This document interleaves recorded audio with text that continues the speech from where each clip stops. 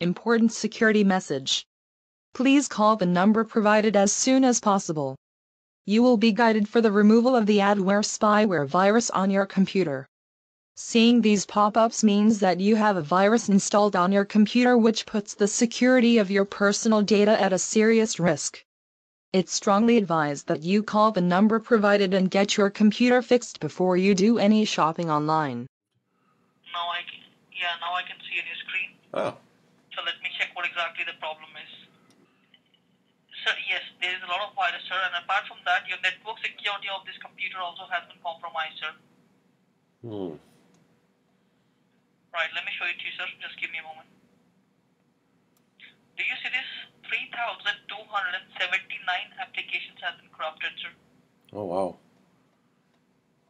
Look at the error and warning over here. Do you see all this? Yes. Alright, sir. Do you see this csrss.exe? Yes. Look at this. Do you know what exactly is this? No. No.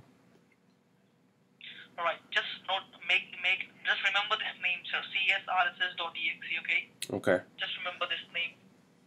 What I'll do to make you understand clearly, I'll go ahead and type the same name in Google and let's say what does Google says about it, okay? Okay.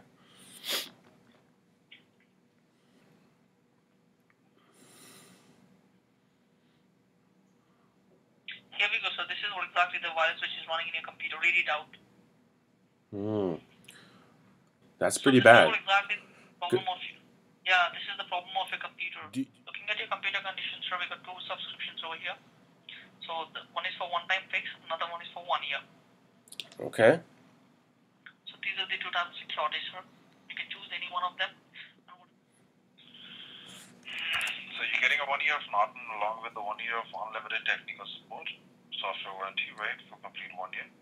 And you're paying about $249.99, right? Okay.